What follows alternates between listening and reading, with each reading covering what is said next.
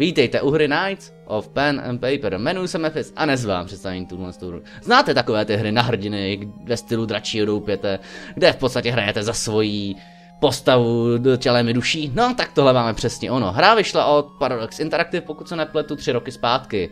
S tím, že je to vážně takové to dračí doupě, co jste kdysi hrávali, bavilo vás to, je to prostě super.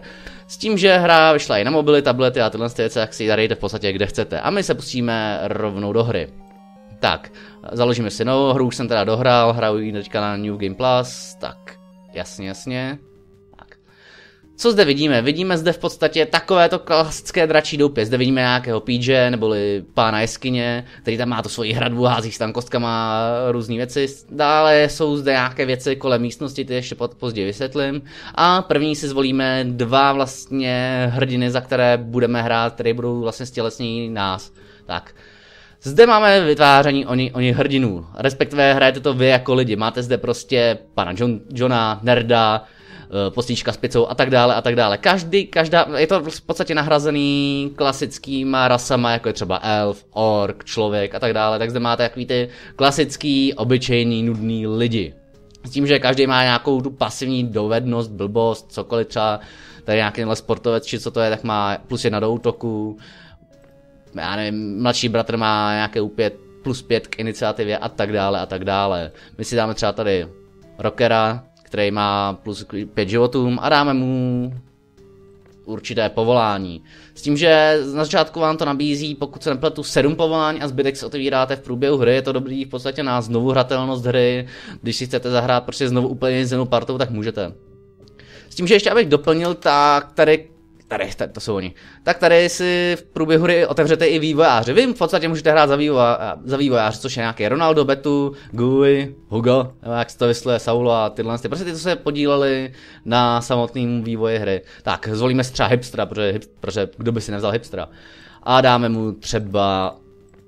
Mm, mága, na mága, za toho jsem to odehrál, toho znám, to bude v pohodě. Ano, chci mága jako hipstra. Ano, bla bla bla bla. A zvolíme si ještě jednu postavu a to bude třeba Paladin a bude to pan Johnson, to je poměrně fuk. Rada? Tak, začíná naše dobrodružství, zde, máme na výběr ze tří věcí.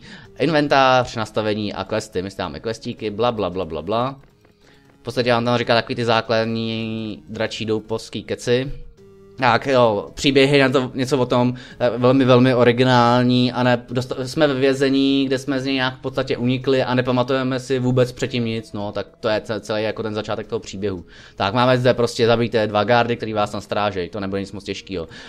Eh, v podstatě si zde prostě přidávám, já si tam těch gardů můžu dát až sedm ve svým podstatě, když by hodně chtěl, ale můj quest je v podstatě zabít dva gardy, tak tady necháme tyhle ty dva a startnem to mám, jeden level, oba dva, mám, oba dva máme jeden level, jako obě dva mají charaktery. S tím, že tyhle ty žluté čísla, to je, pokud se nepletu, iniciativa, v takovým tom pořadí, jak útočíte. První jde ten legard, potom jde paladin, potom jde mage a potom jde tady další guard. No, tak, co zde máme dál? Máme zde nějaký klasický útok, to je prostě hitnu, dokud zautočím toho prostě zraním obyčejným basic útokem, má to i mák, má to každý. Pak zde je nějaká kouzelná knížečka, to je v podstatě vám ukazuje vaše skilly a kouzla. Tak já si sem dám třeba Fireball, to napálím do toho druhého, protože Fireball má tu schopnost, že prostě ho zapálí a postupně mu to žere životy. Dále je zde nějaký inventář, kde používáte prostě potíč, potíky a tyhle si blbosti. No, obrana, že se zadefuje, dostává méně damage a útěk prostě od mobu, to teďka ukázat určitě nechci. A umlaď ho hůlkou, no, krásný. Tak jsou, je to první level, první úkol, takže jako nic moc zajímavého, těžkého. A vítězství za vítězství dostáváte peníze a XP pro partu. Tak, krásně levely zaposleme, ale nejdřív, jo jo, bla bla bla. Hm, Jo, samozřejmě neznámý, prostě cizinec nám pomohl. A neznámý cizinec byl pro vaši zajímavost taková, taková, takový ten poskok toho PJ, když prostě byla parta až příliš neschopná, tak on tam jako poslal toho neznámého cizince, aby té partě v podstatě, v podstatě pomohl, jo. Takže ano, splnili jsme quest, unikli jsme z vězení, super. Tak, máme level upy. Tak to si ukážem. Máme zde čtyři questy, které nás budou doprovázet až do konce hry, až prostě nějakým 40. levelu budeme mít furt ty samé questy, jenže se v podstatě postupně vylepšují. Paladin má třeba tady nějaký, nějakou pasivní dovednost, že dostane 5 životů a 1% hm, hrozby, že v podstatě budou na ně víc útočit. To se samozřejmě hodí vyložit na toho Paladina, protože ve svém týmu pěti čl, čl, členů potřebujete mít jednoho tanka, který vám prostě v podstatě ochrání ty členy Ostatní, jako je třeba právě onen Wizard, který ho má, má, nevím, třeba kněze a tak dále, něco, co prostě nevydrží.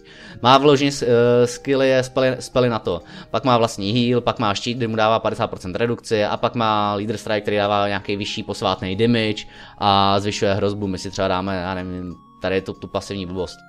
Tak. A Mage má prostě Fireball, který užírá postupně, Freeze, který vás zamrazí na kolo a je to v podstatě stán. A nějaký stream to vám dává manu a Meteor, který je plošný damage úplně do všeho, ten si dáme. To je hodně super. Tak, co máme tady onom v městě? Máme zde boj, můžeme klasicky bojovat proti tomu, čemu si vybereme v podstatě, jsme jenom expeli, nic víc. Mapu, mapu po světě, kde se pohybujeme, taková poměrně klasika. Uh, můžeme odpočívat, to v podstatě vypadá, no takhle, odpočíváme, jediný co nám to čerpá jsou dny. Uh, když odpočíváme ve městě, neházíme si kostkou, jinak když odpočíváme mimo město, hodíme si 20 stěnkou a buď nás napadnou, nebo ne. Dále jsou zde questy, tady můžeme se řídit podle hvězdičky, to je hlavní příběhová linie. A nebo prostě bez hvězdičky, to jsou prostě vedlejší questy, jo, tak... Tak. A dále zde, jo, obchodník. Tady jsou klasické itemy, mrkev až nejdražší potiony a equip, tady to samý. V podstatě nám to dává různý staty, kritikály, hrozby, životy a tak dále a tak dále. S tím, že my si ukážeme, ne, my si ještě neukážeme, my si koukneme do obchodu. Obchod je velmi podstatný, člověk by se řekl, že tam je spíš takový, to, takový ten in-game shop, kde za, za to platíte reální peníze, ale není tomu tak. Máte zde nějaké věci, které platíte za goldy. Goldy jsou normální herní měna, asi se ptáte, proč mám 350, ale goldy jsou sdílený před všechny savey, co už mám, takže já jsem v tom hlavním příběhu měl zrovna 350 goldů a přenesli se mi semhle. Tak můžu si koupit nějaké vlastně nějaký blbosti, co mi tady zvyšují třeba lifestyle na 15 minut a takový ty dočasné věci, kde když třeba nemůžu dát bose, tady je to samý, jenže pití. Objekty. Objekty jsou trvalé věci, které vidíte zde na stole. Každý z nich je docela důležitý, jelikož třeba koruna mi dává, že můžu bojovat proti sedmi potvorám a ne proti pěti naraz. Když chcete farmy, tak je to super. Eh, kalich mi dává, že můžu hrát s pěti prostě hráčema u svého stolu, místo s, s třema myslím, že je základ. Kostka mi zvyšuje prostě hory na kostku. Eh, časom, ty přesýpací hodiny mi dávají skill duration další a figurky, miniatury mi dávají plus jedna ke všem skillům, což je hrozně silný. Což bych v podstatě normálně neměl mít ani jeden skill u těch eh, postav, s kterými jsem teďka začínal, ale tohle se mi v podstatě dává od každého jeden, takže už v podstatě skilly můžu používat. Tak, je zde nějaká výměna stolu, si můžu dát třeba tenhle, samozřejmě všechno si to musím zaplatit, což mi zrovna nechce. Můžete mít i různý mistry, tady můžete mít jodu, tak necháme jodu. Každý má nějaký specifika, někdo má dává XP, někdo lifestyle a tak dále a tak dále. Je tu spousta, spousta věcí, můžeme si tam dát třeba Tardis. Je, hra je plná, ale plná easter eggů. Je tam prostě štít kapitána Ameriky, Gremlini, Gaben, ano, je tam samotný Gaben ve Steamu, tady ukážu nějaký screen, protože to si zaslouží a samozřejmě jako nejsilnější item ve hře je nějaká, nějaké to Freemanovo páčidlo. Tak, tak, hra je opravdu nabitá humorem až jako k prasknutí, je to fakt super. Máme zde dokonce i vlastní zvířátko, což samozřejmě jedno je než druhý. Tak. A my si ukážeme ten boj hlavně, jako nějaký ten pokročilejší. Dáme si boj, dáme si to třeba proti, se mi to nezabije, proti pěti krysám na levelu 1. Ale jako samozřejmě se jim to nelíbí, protože to jenom krysy. Tak.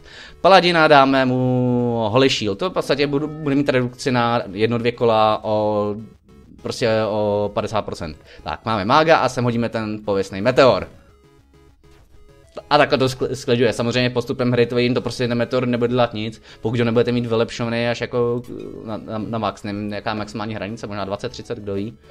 Tak, teď už to začíná um, umlátit po jednom damage, tomu paladinovi v podstatě nic nedělá. Jelikož když se koukneme tady na ono postavu, na info postavy, tak je z nějaký útok, životy, magie, a hrozba.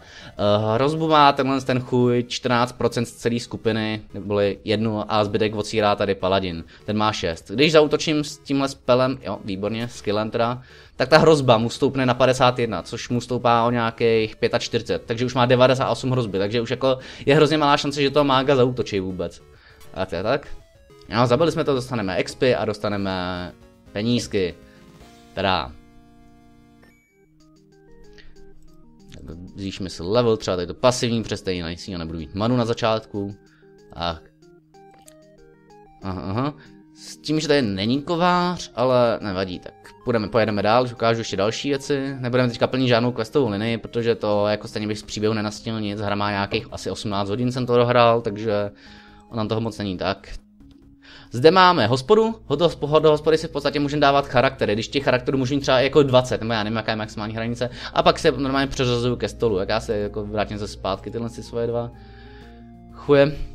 Tady vidíte, tady vidíte Obelixe, zde vidíte, jak to bylo, tady je Strange Guy a takovýhle věci. Jak, pryč, říkám pryč. Tak, v hradu mám ještě, no, ano, ano, krásný, krásný. V hradu je ještě jedna velmi, velmi důležitá hra, eh, věc, což je eh, ten kovář. Kovář vám v podstatě je vaší jediná možnost, jak si vylepšit základní equip. Základní equip máte v podstatě tyhle ty dvě první zbraně, většinou je to zbraň, štít nebo zbraň a brnění. Třeba Mák má tady nějaký roucho a svoji stavku. Takže tak vám, to samozřejmě to vylepšování bohužel není jen tak, je poměrně dobře řešený. Jde o to, že vy ho můžete level upnout určitým grindstonem, určitým shooterem, který jako mu zvyšuje prostě level, co on může upgradeovat. Protože vy se upgradenete zbraň a dál už nemůžete do každého, nebo že nebudete mít toho kováře vylepšenýho. S tím, že ten potenciál je v tom, že pokaždý vám to vylepší o docela jako super věc, jo. Třeba mi to dává 2% resist a 10 geltum. Zatím nemám totiž žádný atributy. Ale abych si to mohl dovolit, musím zaplatit 150, ale mám 35 šancí, že mi to vůbec vylepší, tak to vyzkoušíme. No a samozřejmě nic, tak jsem teďka v podstatě poslal 150 goldů do prdele a pošlu je teďka klidně i znovu. Kruci, chtěl jsem vypadat, jak to, ukázat, jak to vypadá vylepšený. Ale ne, dobře, blbej kovář. S tím, že každým úspěšným craftem nějakého itemu se mu i zvýší ten jeho level, takže to není jenom skrze uh, ten greenstone. Ten greenstone se dá buď vyfarmit v nějakých jeskyních, po případě se dá koupit zde v obchodě. Tadadadada. A koupíme si jeden za 25 goldů na začátku je to opravdu hodně, ke konci už to skoro nic neznamená, tak tohle mi dává jeden grindstone, jo, to je to fakt, fakt super. Tak ukážeme, ukážeme se ještě nějaký tuší boj, jakož už jsme tady, no tak jako tohle asi nedám. Ne, to bych mo mohl dát. Cokoliv banditu. No dobře, tak zkusíme se. Ty krása. Ne, dobře, dáme si, dáme si jednoho garda, protože ten už, ten už má vyšší level než s tím, co jsem bojoval. Má sedmý level, já jsem trojka, dvojka. Jenže já vím, jak, jak ho obehrát. Nesmím jenom zautočit na maga, to je jediný. A dobrý, to, to je úplně Nope. Tak my ho zamrazíme. V podstatě zamrazení dostane na jedno kolo stan a nehraje, takže v pohodě já tady můžeme s tím mlátit a nedělám očividně nic, to není moc dobré, jak mm, sakra. Tak, ať mi útočí do toho paladina. No, nemá moc damage guard, ale docela vydrží na začátek. Já tady použiju potík, ať mám nějakou manu a můžu dál kouzlit. Tak, já se budu pokou pokoušet nějak umlátit. Tada. A tohle by se měli dát, on, on loser. Fireball a měl by se dožrat sám v jeho kole. Akna ještě ne. Come on! Ach, dobrý. No já si myslím, že jako ukázka tenhle z té retro super RPG dračí doupě hry by tohle mohlo i nějak tak stačit. Takže pokud se vám tenhle gameplay líbil, zanechte jako už obvykle like, odběr a napište nějaký ten super komentář. Tak zatím, čau.